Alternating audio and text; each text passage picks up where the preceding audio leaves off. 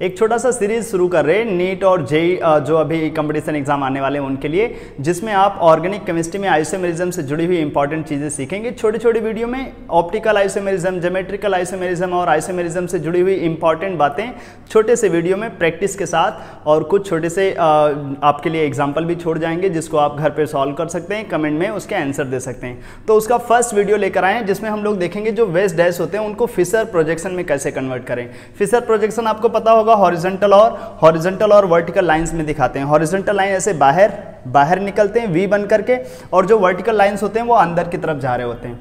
जो dash veg होते हैं अपने पास, जो ये वाली लाइंस हैं अपने पास, ये बोर्ड पे ही हैं। जो सॉलिड लाइंस होती हैं, वो बोर्ड के बाहर आई हुई होती हैं, और जो डैश करके बने होते हैं अपने पास डॉटेड लाइंस वो बोर्ड के अंदर जा रही होती हैं। तो कैसे इनको कन्वर्ट करें, छोटे से वीडियो में सीखेंगे। ध्यान से देखिए, बड़े आराम से समझ जाएँगे आप। क्या करना है आपको? बस जो ये डॉटेड लाइन वाले ग्रुप्स होते हैं ना, उनको वर्टिकल पोजीशन पे डाल दीजिए, कहीं भी, ऊपर या नीचे, जहाँ मन करे वहाँ। जैसे ब्रोमीन डॉटेड पे है तो हमने नीचे डाल दिया। जो डॉटेड पे रखे हुए हमारे पास ग्रुप्स हैं, उनको वर्टिकल पे डाल देना है। उसके बाद क्या करना है? उसके बाद जो हमारे पास बचे हुए तीन ग्रुप्स हैं, उनका सीक्वेंस देखो एच एफ़ सी एल वैसे ही वहाँ पर रख दो। H F C L same sequence में देखो क्लॉकवाइज में, यहाँ पर भी एच एफ़ सी एल कैसे हैं? क्लॉकवाइज में। हो गया कन्वर्जन दूसरा एग्जांपल में देखते हैं। जैसे, अगर हमारे पास एक होगा तो कैसे करेंगे? हमने सीख लिया। जो डॉटेड लाइंस होगा उसको रख देंगे वर्टिकल पे, और जो सीक्वेंस होगा उसको सेम सीक्वेंस में रख देंगे। वर्टिकल का मतलब हम ऊपर भी रख सकते थे, नीचे भी रख सकते थे। एक कार्बन पे। अब अगर हमारे पास दो कार्बन हो तो ऐसे वेज डैश में दिए गए हों, इनको कैसे कन्वर्ट करें फिशर में? फिर से वही रूल आपको लगाना है, जो आपके पास डॉटेड लाइंस पे हैं, उनको कहाँ डाल देना है? वर्टिकल्स पे।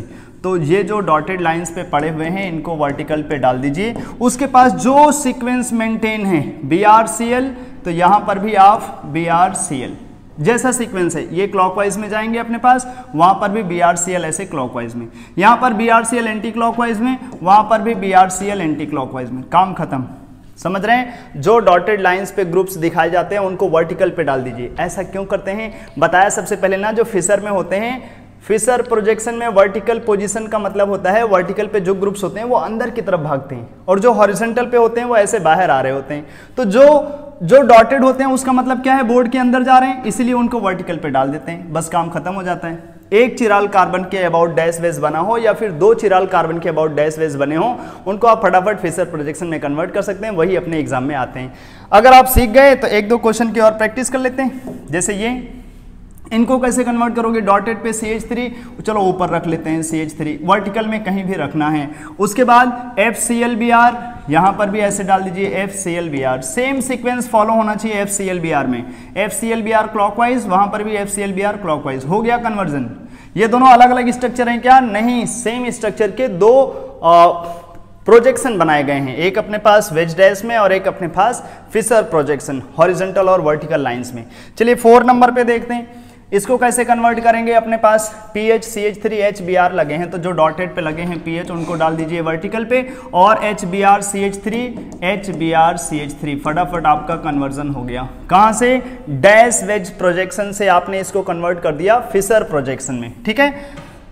तो मेरे हिसाब से अब आप सीख गए होंगे। एक बार ये इसका भी कर लेते हैं। दो चिराल कार्बन कंटेनिंग अगर हमारे पास होते फिर से क्या करेंगे? जो डॉटेड पे लगे हैं उनको वर्टिकल पे डाल देंगे। जो डॉटेड पे लगे हैं उनको वर्टिकल पे डाल देंगे। और जो हमारे पास सीक्वेंस है एच डी एच डी करके कैसे आते हैं? एच डी क्लॉकवाइज में। तो यहाँ पर भी एच डी क्लॉकवाइज में। यहाँ पर C H three H C H three H anti clockwise जैसे लगे हैं, वैसे ही यहाँ पर डाल दीजिए C H three H C H three H बस आपको इतना ध्यान रखना है, जो डॉटेड पे लगे हुए ग्रुप्स हैं, उनको हमेशा वर्टिकल पे डालें, क्योंकि वर्टिकल का मतलब होता है बोर्ड के अंदर जा रहे ग्रुप्स तो डॉटेड का मतलब होता है बोर्ड के अंदर जा रहे ग्रुप्स बस वही आप मेंटेन करिए, आपके क्वेश्चन हमेशा फटाफट बन जाएँगे। अब ये सारे आपको दिए जा रहे हैं होमवर्क सारे अगर कन्वर्ट हो जाएँ, किसी में प्रॉब्लम ना हो तो फटाफट आप देख सकते हैं, कहीं पर प्रॉब्लम हो कमेंट करके बोल सकते हैं। अगले जो छोटे से वीडियो होंगे, उसमें आपको बताया ज़रूर जाएगा। और जो भी ऐसे छोटे छोटे वीडियोस अगर आप चाहते हो ऑर्गेनिक केमिस्ट्री की, सर, ये वाली रिएक्शन एक्सप्लेन कर दीजिए, वो वाली बात बता दीजिए छोटे से वीडियो में तो आपको फटाफट बस आपको कमेंट करके बोलना है। वीडियो कैसा लगा और ये सीरीज़ आपके लिए अच्छी रहेगी क्या, आप बोल सकते हैं। एक छोटी सी जानकारी भी आपके लिए, नीट और जेई जो अभी कंपटीशन एग्ज़ाम आने वाले हैं, उनके लिए मैं एक प्रैक्टिस सीरीज़ शुरू करने जा रहा सेकेंड जनवरी से अगर आप चाहते हैं तो वो बैच ज्वाइन कर सकते हैं। बैचेस शुरू हो रहे हैं सेकेंड जनवरी से, उसमें क्वेश्चन की प्रैक्टिस होगी। खास करके एनसीईआरटी e से रिलेटेड क्वेश्चन जो अपने नीट जैसे एग्ज़ाम के लिए काफ़ी इंपॉर्टेंट होते हैं। सारे के सारे जनवरी और फरवरी मंथ में हम लोग वीक में तीन दिन क्लास करेंगे दो दो घंटे की। आपको उसमें सारे इंपॉर्टेंट क्वेश्चन पर क्लास अगर बड़े चैप्टर होंगे तो एक चैप्टर और छोटे छोटे चैप्टर होंगे तो एक से ज़्यादा चैप्टर्स हम लोग एक दो दो, घंटे की प्रैक्टिस में हम लोग कंप्लीट करेंगे। उसमें तीन बड़े से टेस्ट भी होंगे फ़िज़िकल केमिस्ट्री ऑर्गेनिक केमिस्ट्री और इनऑर्गेनिक केमिस्ट्री से रिलेटेड ठीक है?